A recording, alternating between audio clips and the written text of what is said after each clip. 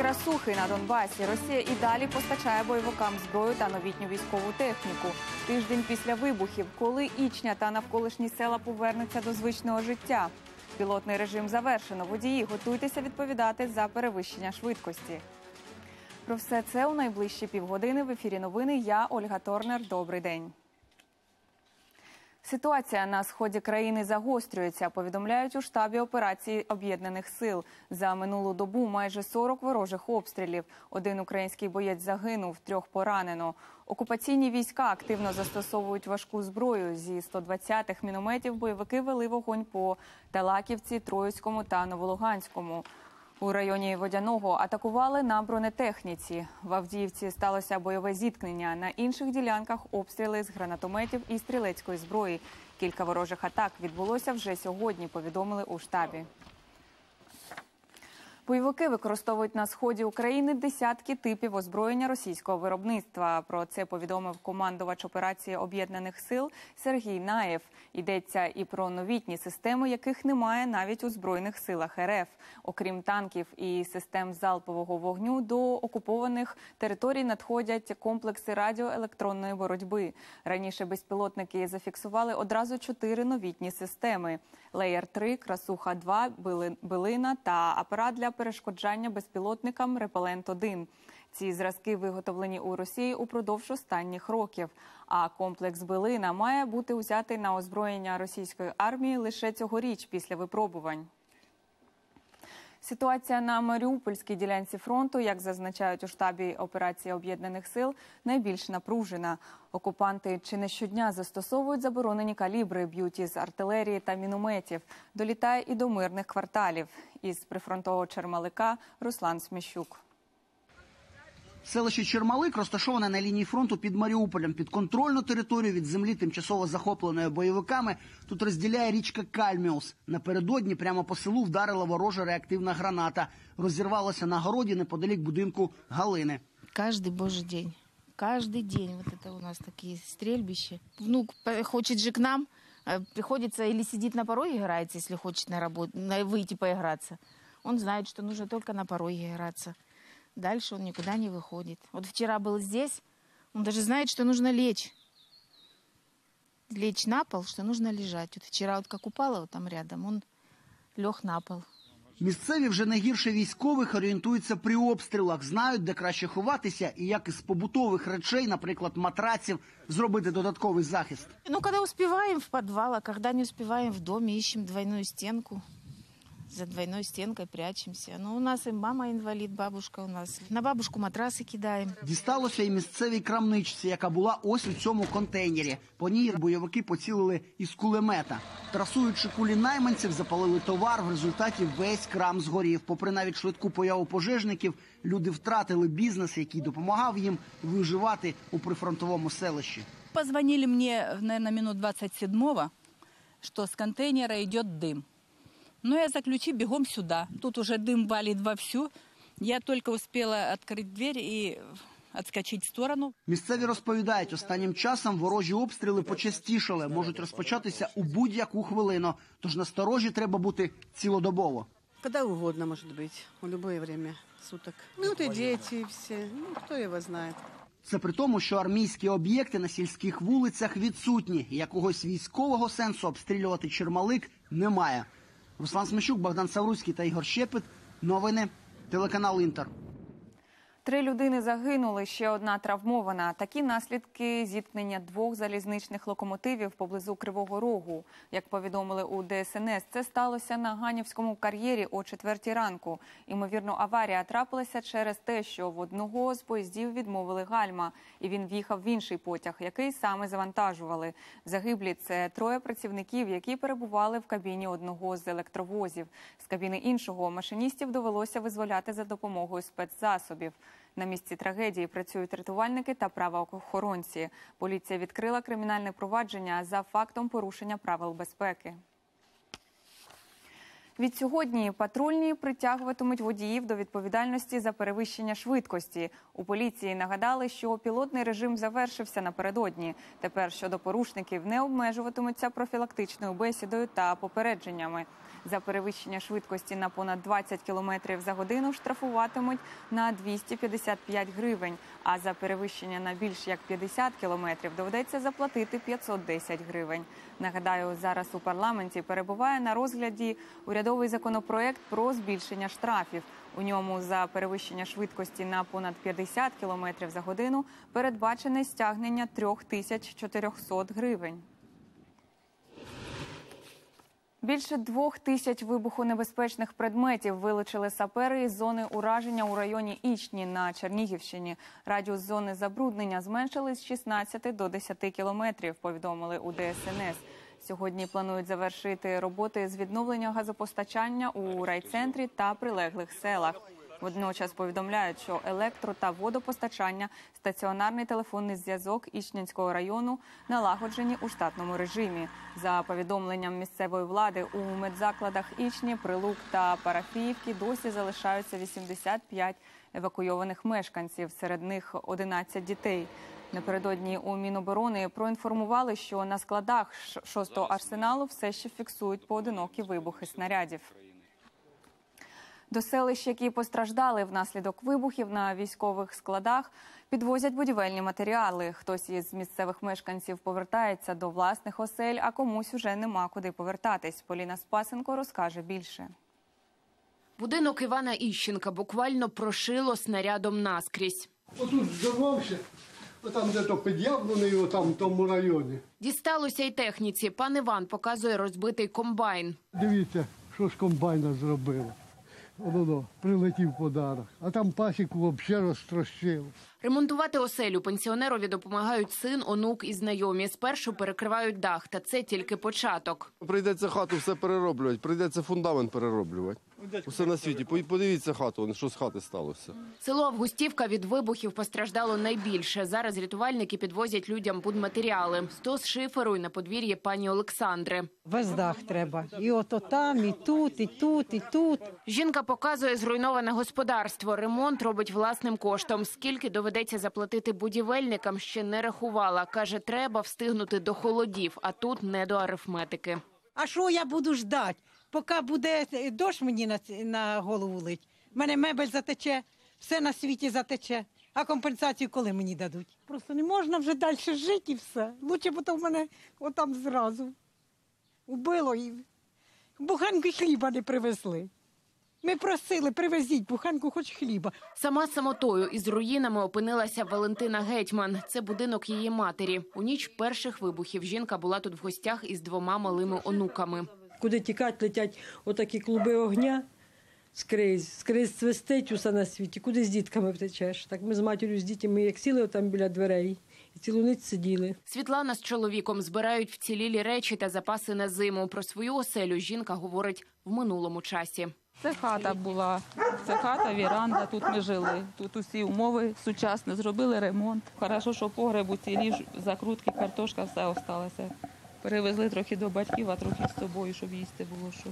Куди потім для Світлани це питання відкрите. Ось так до Тлава в Густівці зруйновано чотири будинки. Всього ж за офіційними даними довкола ічнянських військових складів понівечена сотня осель. Поліна Спасенко, Олексій Шматов, телеканал Інтер.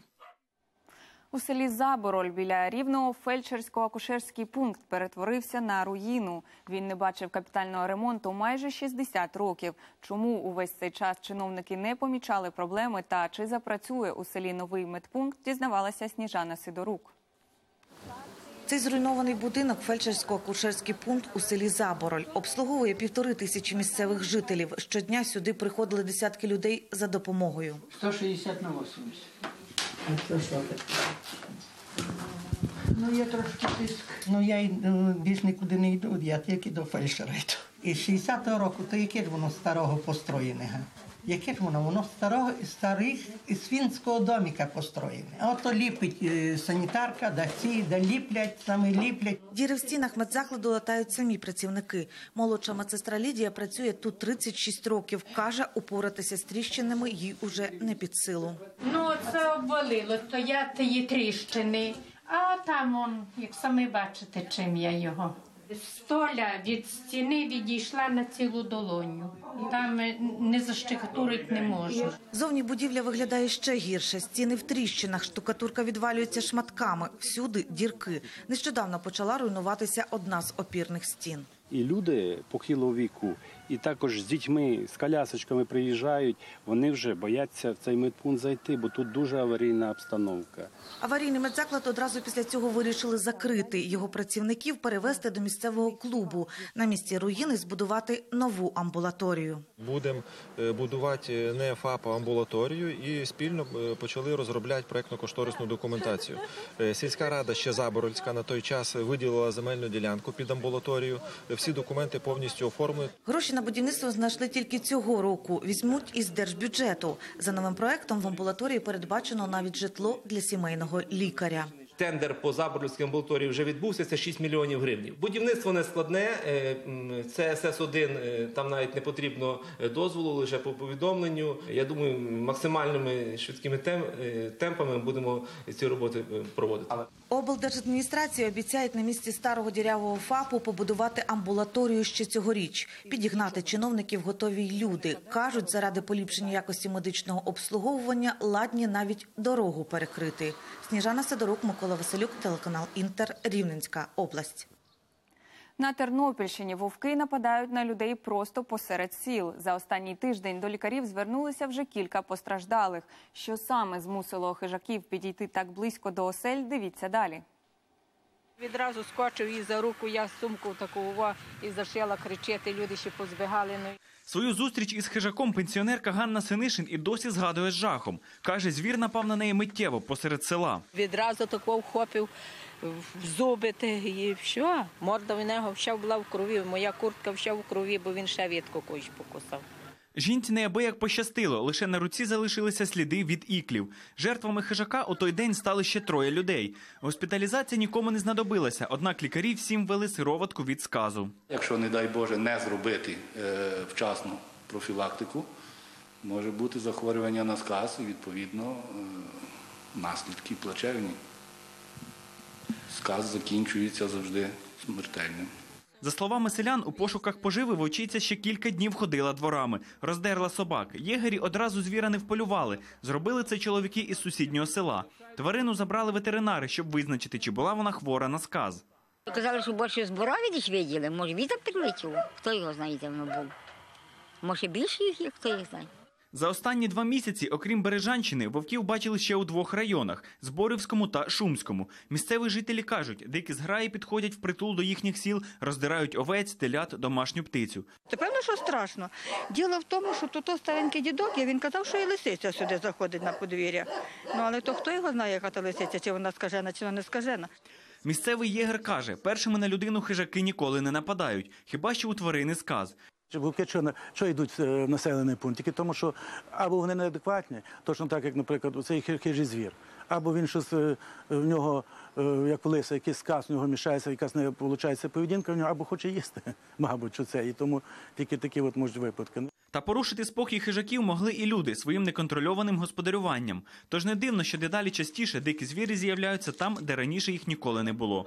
Андрій Кравець, Жанна Дучак, Зиновій Автонас. Новини, телеканал Інтер, Тернопільська область. Україна та Угорщина остаточно домовилися про зміну назви посади уповноваженого із Закарпаття. Відповідні консультації мають відбутися вже наступного тижня. Про це розповів міністр закордонних справ України Павло Клімкін за підсумками зустрічі з угорським колегою на полях засідання очільників МЗС країн Євросоюзу у Люксембурзі. Водночас Петер Сіярто заявив, що офіційний Будапешт і далі блокуватиме комісію Україна НАТО на рівні міністрів. Про це повідомляє Deutsche Welle. Усе, мовляв, через відсутність прогресу із законом про освіту. Дедалі більше українців залишають батьківщину і їдуть працювати за кордон. Країна втрачає кадри катастрофічними темпами. Що вабить на чужині, з'ясовували наші кореспонденти. Не та форма зайнятості, не та кількість оплати грошей. Я мав точно таку роботу. Я працюю в цьому напрямку, і я кажу, що Тому що вакансії такі, знаєте, дуже вузькі для вашого для вашої освіти. На біржу праці як на роботу третій місяць ходить Анатолій. Хлопець працював журналістом, тепер безробітній, але надії влаштуватися в прес-службу якоїсь компанії не втрачає. що я хочу заробляти більш-менш непогані гроші. А на жаль, в Ужгороді сьогодні пропозицій із хорошою зарплатнею так просто не валяється. Тобто, це або по знайомству, або потрібно йти ціленаправленно і рости, рости в компанії. А от Катерина не стала витрачати час на пошуки роботи в Україні. Буквально за місяць оформила документи і поїхала на заробітки до Чехії. Влаштувалася на заводі. На місяць отримувала близько тисячі євро. Була я там три місяці, працювала на двох роботах. За три години, які я заробляла, можна було е, е, е, прокормитися цілий тиждень. Навіть у несезон біля візових центрів Ужгорода черги. Стоять люди і в інших містах. За офіційними даними, тільки в консульство Чехії у Львові заявок на оформлення робочої візи цього року подали удвічі більше ніж минулого. 10 тисяч е, минулого року, 20 тисяч е, цього року ми будемо ми приймаємо і будемо приймати. Близько 350 заяв на оформлення шенгенських віз щодня приймають у трьох візових центрах Західної України. Практично всі, хто хоче отримати такий дозвіл, їдуть у Європу на заробітки. Зарплата, якщо у нас десь середня, скажімо, на тому підприємстві 300 євро, то кажімо, у наших сусідів за 20 кілометрів звідси вона 800 євро. Найгостріше нестачу кадрів відчувають на підприємствах. На цьому заводі, наприклад, більше десятка вакансій, переважно робітничі спеціальності. Але найняти працівників не можуть, кажуть у відділі кадрів. Середня заробітна плата працівників складає 14 тисяч гривень. Однак ріст заробітної плати не встигає за ростом цін і рівнем життя. І тому все-таки більшість людей е, виїжджає працювати за кордон. Скільки українців щороку виїжджає за кордон на заробітки, сказати точно не може ніхто. Ані митні, ані прикордонні служби, ані місцеві чиновники такої статистики не мають. Зрозуміло лише одне: Україна катастрофічними темпами втрачає спеціалістів, а бюджет мільйони гривень податків. Андрій Кравець, Мар'яна Мартін, Юрій Ковальов, телеканал Інтер, Закарпатська область.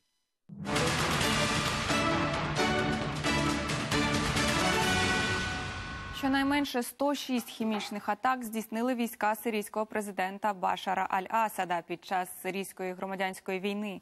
Це у спільному розслідуванні з'ясували BBC Panorama та BBC Arabic. Е, Журналісти пишуть, хотіли показати наскільки важливою стала хімічна зброя у переможній стратегії Асада.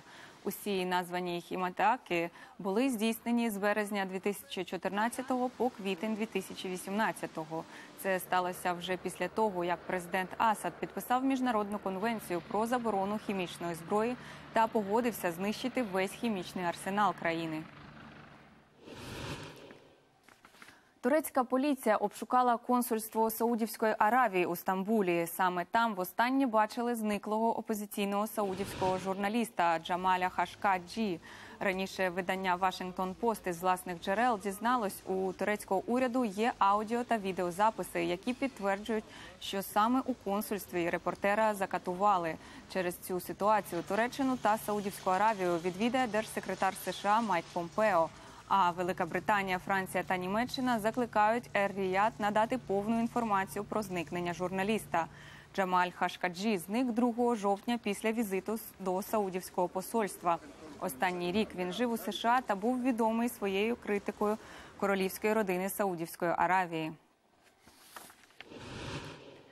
Південна Корея, КНДР та представники ООН сьогодні вперше проведуть тристоронню нараду. Засідання відбудеться у закритому режимі в селі Панмунджом. Переговори стосуватимуться демілітаризації кордону двох Корей. Сторони обговорять прогрес у розмінуванні прикордонної території та коригування обладнання для спостереження. Говоритимуть і про загальне роззброєння. Щонайменше 13 людей загинуло внаслідок раптової повені на півдні Франції. Ще п'ятеро травмовані. Один зник безвісти. Напередодні у кількох районах департаменту ОТ за кілька годин випала тримісячна норма опадів. Вода у місцевій річці сягнула найвищого рівня за 127 років. Сильна течія повикорчовувала дерева, позмивала асфальт і позносила автомобілі. Люди, рятуючись, вилазили на дахи. На місці працюють 350 рятувальників і ще стільки ж чекають на підмогу. Усе почалося минулої ночі. Спочатку дуже довго лив дощ, а тоді ми почули, як шумить вода. Я натиснув на вимикач світла, але воно не загорілося. Я спустив із ліжка ноги, а на підлозі була вода. Я пішов на кухню, спробував відчинити двері. Спочатку нічого не вийшло. За дверима було по пояс води. Щонайменше 6 мільярдів доларів таких збитків завдав Сполученим Штатам ураган Майкл, що налетів на східне узбережжя тиждень тому. Це підрахунки консультаційної компанії Air Worldwide. За даними ор- організації, вітри та шторми зруйнували застраховану власність на суми від 6 до 10 мільярдів. Прогноз стосується штатів Алабама, Флорида, Джорджія, Північна та Південна Кароліна і Вірджинія. Через ураган Майкл у США загинули 17 людей. Стихія зруйнувала сотні доріг, півтора мільйона будинків лишилися без світла. Зберегти популяцію рідкісних хижаків намагаються у китайському зоопарку в провінції Куньмінг. Там нещодавно народилися троє бенгальських тигрів. Як працівники звіринцю дбають про них, розкаже Єлизавета Журавель. Ці бенгальські тигренята народилися лише місяць тому, але вже встигли завоювати прихильність усіх відвідувачів. Нині ця рідкісна порода білих тигрів на межі зникнення. Тому працівниця зоопарку взяла на себе відповідальну місію вигодувати цих дитинчат і в такий спосіб долучитися до програми збереження їх популяції.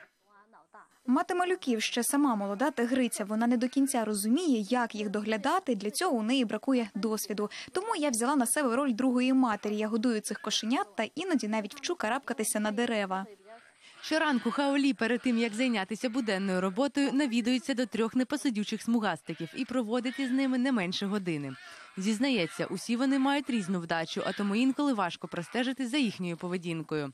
Для кожного тигра робітниця розробила індивідуальну програму навчання і сподівається, набуті навички стануть її підопічним у пригоді. Найстарша самичка найбільш вередлива і має неабиякий апетит. А наймолодша тиграня дуже полюбляє цупити їжу. Тому для кожного з них я маю власну програму навчання. За даними Всесвітнього фонду дикої природи, у світі налічується всього 2,5 тисячі бенгальських тигрів, більша частина яких живе в Індії. Через біле хутро, яке високо цінується на чорному ринку, ці великі кішки постійно під прицілом у браконьєрів. Тому юннанський зоопарк організував благодійний фонд, до якого усі охочі можуть внести пожертвування. Гроші фонду підуть на створення окремого парку, який облаштують для розведення бенгальських тигрів. Вони такі грайливі. Я ніколи не розумію, як можна так жорстоко вбивати тварин заради хутра. Організувати цілий парк, де тигри будуть у безпеці гарна ідея. А поки благодійний фонд тільки розпочинає свою роботу, усі відвідувачі зоопарку мають нагоду взяти участь у конкурсах і запропонувати свої оригінальні імена для новонароджених кошенят. Єлизавета Журавель, новини телеканал Інтер. У США помер один із співзасновників Microsoft Пол Аллен. Про це повідомили у офіційному твіттері компанії. Програміст і бізнесмен пішов із життя на 66-му році через рак. Кілька тижнів тому Валена виявили рецидив хвороби, яку він раніше вилікував. Пол Аллен був шкільним другом Біла Гейтса. Вони разом заснували Microsoft у 1975 році. За шість років Аллен покинув компанію, але зберіг частину акцій. Його статки за оцінками Forbes перевищують 20 мільярдів доларів. Діти видатного астрофізика Стівена Гокінга Тім та Люсі презентували останню книжку батька, яку він написав перед смертю. Лаконічні відповіді на великі запитання у цій праці Гокінг розглядав тему існування Бога і намагався дізнатися, чи можливо подорожувати у часі, не використовуючи жодних новітніх технологій. Загалом книжка містить 10 розділів, кожен із яких присвячений окремому питанню. У продаж збірка надійде вже наприкінці жовтня. Рідкісний місячний метеорит виставили на аукціон в американському Бостоні. П'ятикілограмову частинку супутника знайшли на північному сході Африки. Камінь відколовся від поверхні місяця та сам дістався землі. Під час падіння він розбився на сім частин. Шість із них зібрали разом, щоб продати, а одну найменшу віддали в інститут метеоритів штату Нью-Мексико. Знайдений місячний метеорит один із найбільших у світі. Його стартова ціна півмільйона доларів. Це один із найбільших метеоритів, який коли-небудь знаходили. Такого точно ніде не було. Ми називаємо його місячний пазл. Ми маємо шість його частин, і його можна розібрати. Такими були головні події на цей час. Більше новин у вечірньому випуску. Я бажаю вам гарного дня і прощаюся з вами до завтра.